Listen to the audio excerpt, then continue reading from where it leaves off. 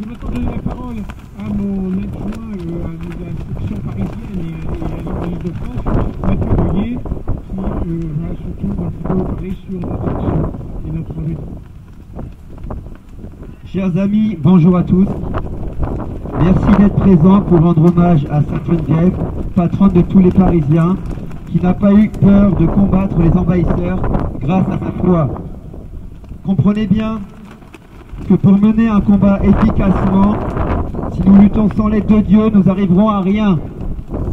En 451, les Parisiens apprirent que les Huns, redoutables guerriers menés par Attila, se dirigeaient vers Paris.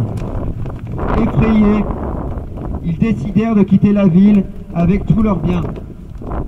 Sainte Geneviève, qui avait alors 27 ans, tenta de convaincre les hommes de ne pas fuir.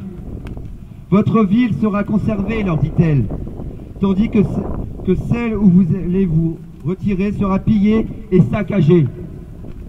Ayez confiance en Dieu, implorez son secours et ne trahissez point par votre fuite la cause du ciel et de la patrie. Elle réunit en même temps un petit groupe de femmes qui tous les jours jeûnaient et priaient pour demander à Dieu de les épargner. Sainte Geneviève est la Vierge à qui Dieu donne sa famille pour peuple tout entier. Elle a reçu de Dieu la mission de transmettre à la nation naissante la foi catholique. Aujourd'hui, les barbares ne sont pas les uns, mais sont tous ces mondialistes, cosmopolites, maçonniques et satanistes qui assassinent notre patrie. Derrière nous se trouve ce qu'on appelle ce Panthéon, monument que la République maçonnique a récupéré pour remplacer l'église Sainte-Geneviève. En 1744, Louis XV, malade, pria Sainte-Geneviève pour sa rémission et fit vœu d'ériger une église en l'honneur de la patronne de Paris. Ayant finalement survécu, le roi ordonna la construction de l'édifice sur la colline du même nom à Paris, dans, dans le 5e arrondissement, où nous nous situons actuellement, en remplacement de l'ancienne abbaye en ruine.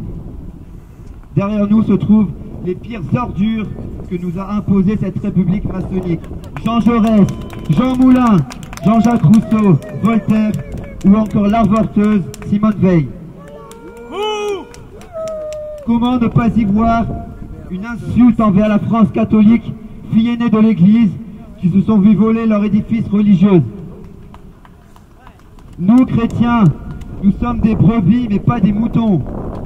Alors engageons-nous afin de faire triompher le règne social de Jésus-Christ.